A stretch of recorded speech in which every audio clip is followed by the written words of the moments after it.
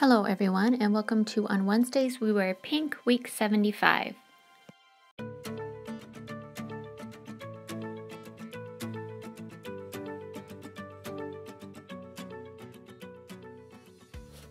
going to start my mani off with Cuticula's base coat here. This is in the scent Pop Fizz Clink. I received this in January's My Mani box and ever since then I have worn it for every manicure. I love this. The smell is amazing. And I love that it has that little blush tint to it so that even if I don't feel like painting my nails, I can just apply this and my nails still look very pretty. I have decided to use this new to me brand. This is Pop-arazzi and the shade here is Spun Sugar. This color is gorgeous. I am a huge die-hard fan for these milky pinks. I think they are absolutely gorgeous. First coat of this did apply pretty well. There is a little bit of patchiness and a little bit of unevenness, but nothing too drastic. This is a very nice polish formula-wise, but the scent. This has a very strong polish scent to it.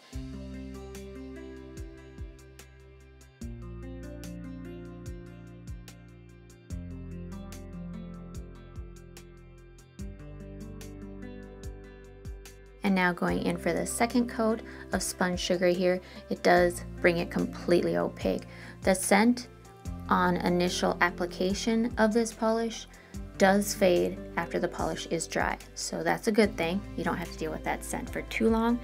But I just want you guys to be forewarned that these Pop-arazzi polishes from, I believe I got it at Rite Aid.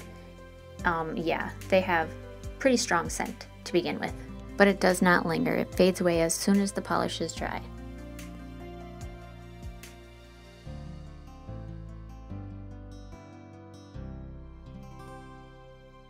recently have been looking into the process of shrinking stamps.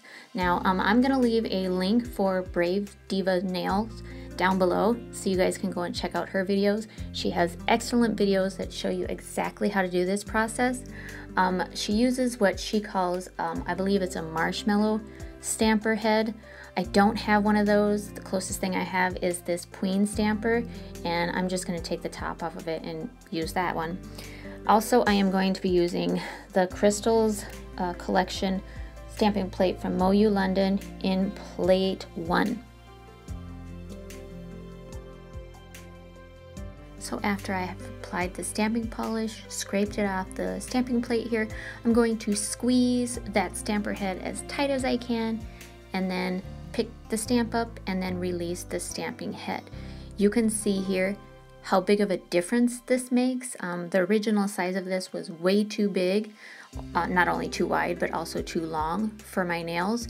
So shrinking it made it possible to fit on my nail. And now with Zoya's Caitlin, I am going to fill in the stamp. I did start off using my little tiny paintbrush here and soon discovered that that was going to take quite a bit of time, so I switched to a fairly big dotting tool.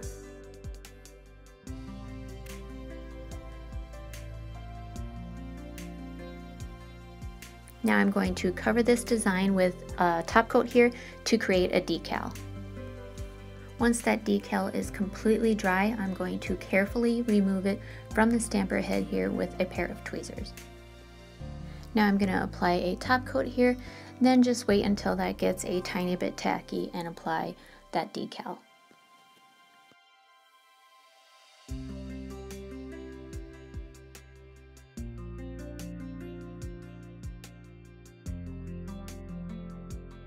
Now doing a little bit of cleanup here with a brush dipped in acetone will also help to melt this decal onto my nail.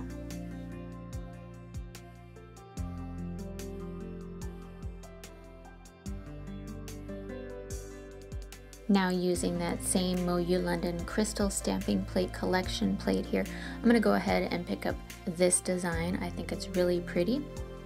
I'm also going to be using the reverse stamping method for this design. Um, the way that I'm doing this is just kind of randomly filling in the triangles here with Zoya's Caitlin. Yeah, it's, there's no rhyme or reason. I'm just picking them and coloring them in.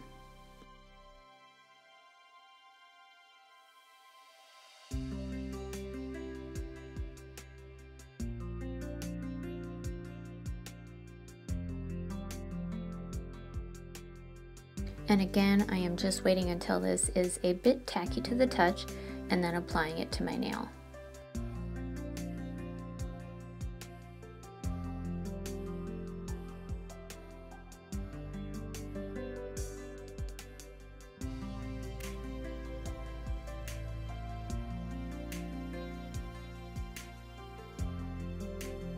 Now I'm applying Wow It's Dried top coat to finish this mani off.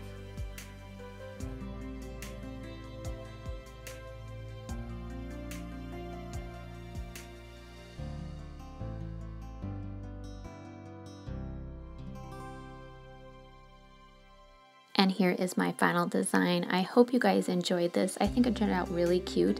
Again, I'm gonna leave below the link for BravesDiva Nails YouTube page. You guys can go over there and check out the video that she did on uh, shrinking stamps. I think it's very cool, very informative, and I have practiced quite a bit, so it does take a little bit of practice to gain the right technique, but watch her video, she'll show you exactly what to do. Please leave any comments or suggestions below, and I will see you in the next one.